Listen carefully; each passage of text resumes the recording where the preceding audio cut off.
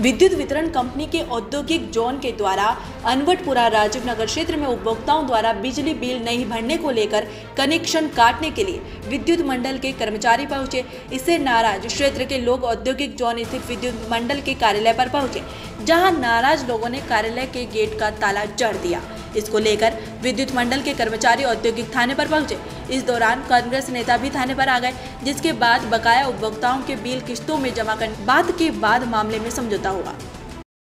Sir बताइए अभी एक बिजली के बिल को लेके विवाद हुआ था क्या पूरा मामला? ये राजीव नगर अवटपुरा में जो है किसी का बिल न जमा होने पर इशू था उसको लेके वहाँ के कुछ लोग उसके परिवार के कुछ लोग वहाँ इकट्ठे हो गए थे जो दोनों एम पी और उन लोगों में आपस में कुछ वार्तालाप हुआ था। बाद में उनके द्वारा बिल भरने की सहमति देने पर जो है दोनों पक्षों का आपस में मुचल हो गया।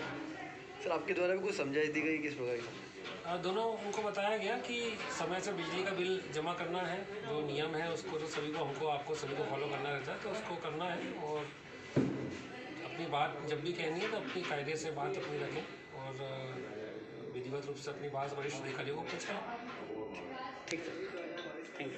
क्या घटनाक्रम है वो कहाँ का मामला है ये? कुछ नहीं इंडस्ट्रियल जोन का है। हाँ तो किस मामले को लेके हुआ था ये कुछ नहीं लाइट वाइट कटी थी तो आए थे बस। अभी यहाँ पे औद्योगिक थाने में पहुँचे तो किस लिए पहुँचे थे आप? नहीं अभी सब आए साहब वाहब तो हम भी आए। अच्छा तो किस मामले को लेके हुआ था वो? थोड़ा सा बताओ ना। नहीं है मैं तो अभी आया थोड़ी देर पहले आया था उस समय।